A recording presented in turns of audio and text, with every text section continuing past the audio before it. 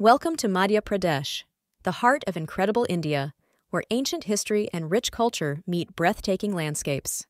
A land etched with history, Madhya Pradesh is home to the world famous Khajuraho temples, UNESCO World Heritage Site Sanchi Stupa, and the majestic Gwalior Fort.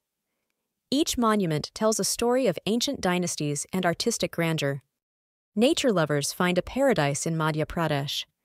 From the thrilling tiger reserves of Bandhavgarh and Kanha to the serene beauty of the Narmada River, the state's diverse ecosystems are a testament to its natural splendor.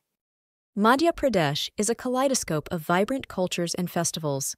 Celebrate the colorful festival of Holi, witness the classical dance at Khajuraho Dance Festival, and immerse yourself in the spiritual aura of the Mahakaleshwar Ujjain Kumbh Mela.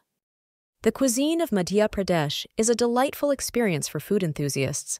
Savor the taste of local delicacies like poha, dal bafla, and Bhopali kebabs, each dish offering a unique flavor of the region.